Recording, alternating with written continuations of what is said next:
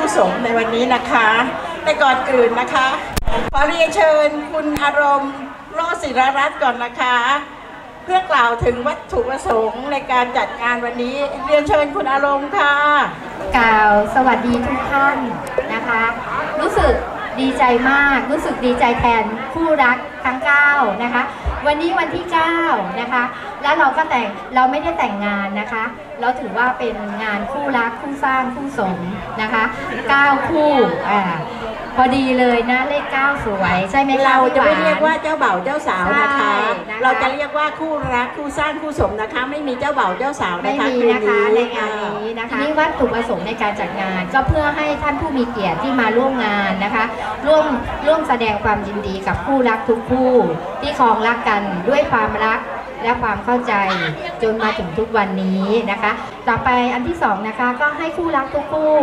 มีความเข้าอกเข้าใจกัน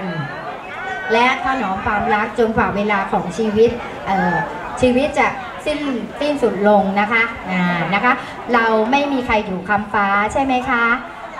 นะคะ ก็เราก็ทำวันนี้เพื่อระลึกนะคะ เก็บภาพสวยๆ งามๆ เป็นที่ประทับใจ ไว้ให้ลูกหลานนะคะ ลูกหลานเหลน ไว้ดูภายภาคหน้านะคะอีกข้อหนึ่งนะคะเพื่อสร้างความสัมพันธ์ที่ดีนะคะของสถาบันครอบครัว ก็คืออันได้แก่ลูกหลานนะคะ จะได้เอาไว้ดูในภายภาคหน้านั่นเอง แล้วก็ให้ลูกหลานเนี่ยเป็นพลังว่า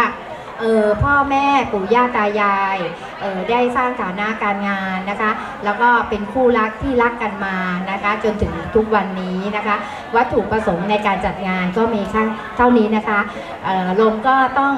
ขอเออหากดูแลไม่ทั่วถึงนะคะ อาหารอาจจะมีบกขาดตกบกพร่องก็ต้องขออภัยในหน้าที่นี้นะคะ อาหารอร่อยไหมคะ อร่อยนะคะ อร่อยนะคะ อร่อยขอเสียงตบมือให้ให้แม่ครัวด้วยค่ะ ค่ะ ขอบคุณมากค่ะ ค่ะ ก็ส่งไม้ให้พี่หวานต่อเลยนะคะ ขอบคุณค่ะ ขอบคุณค่ะ